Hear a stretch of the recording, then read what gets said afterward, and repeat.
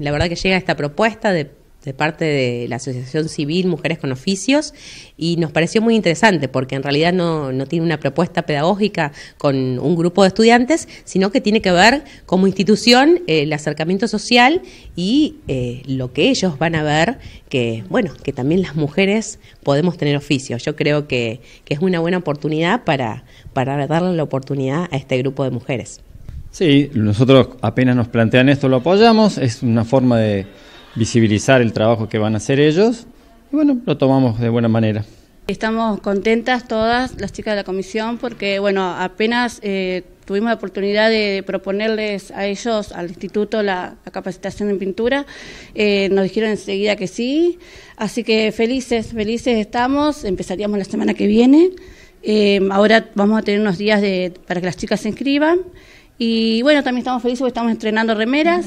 Vamos a alargar las inscripciones, tenemos un cupo limitado, se puede realizar otra vez este curso.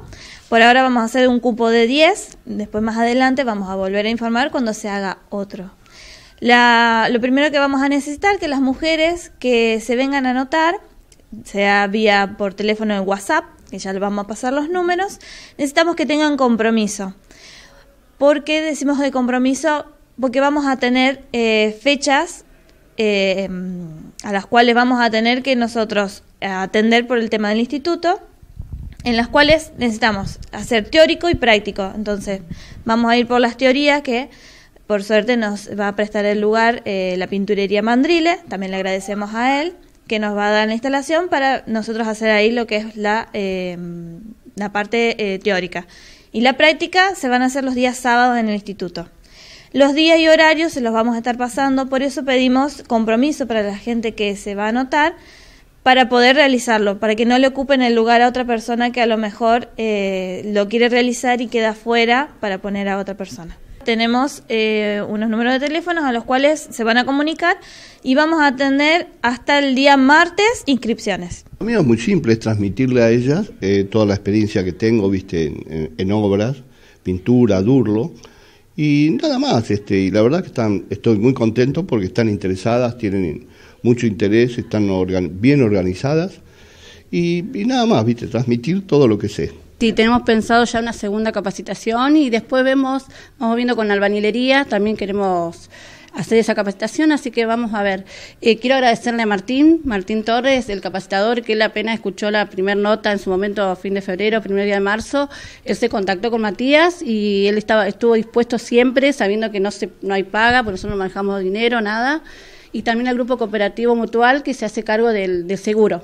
Eh, porque también tenemos que tener un seguro para las chicas por si pasa algo, así que bueno, agradecida a todos, nada, nada, ningún costo en el momento de la inscripción le vamos a decir a las chicas que también tengan que llevarse su material, sería a lo mejor un pincel y un rodillo. Cada una tendría que, tiene que tener eso, porque al, ser de cada una lo va a cuidar más. Eh, eso hablábamos con Martín.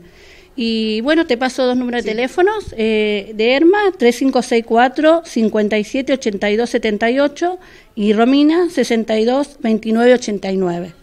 Eh, cualquier cosa, si no lo llaman a ustedes, le piden el número de teléfono.